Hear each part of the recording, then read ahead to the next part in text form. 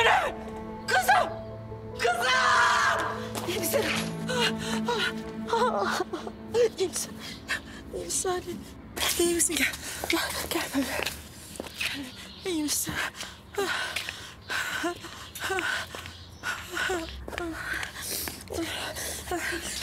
Kızım iyi misin?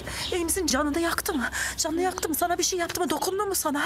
Ha? Bir şey yaptı mı sana? Ha? Nerede buldun kızımı? Nereye saklanmış o azat iti kızımı söyle. Anne ben Azat'ı vurdum. Vurdum ben. Gönül. Öldü mü? Henüz bilmiyorum. Öğreneceğim. İnşallah ölmüştür. Yoksa onu ölmek için dua edecek hale getireceğim. Azat bana saldırmaya kalktı.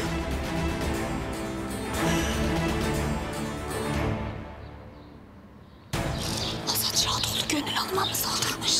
Kız sus kız. Ben de onu vurdum. Reyhan'ın başına gelenler benim başıma gelmesin diye. Miran'dan başkası bana dokunursa yaşayamam. Mecburdum. Ya kendi canımı alacaktım ya... Kendini bıçaklayıp suçu Reyhan'ın üzerine attığın gibi şimdi olmayan bir günahı Azat'a yüklüyorsun. Doğru değil bu söyledikleri. Azat böyle şeyler yapacak biri değil. Sultan Hanım! Sana ne Azat'tan? Sen ne biliyorsun adamı? Ne kadar tanıyorsun o savunuyorsun bana? Görmüyor musun kızımın halini? Gel kızım. Geliyorum.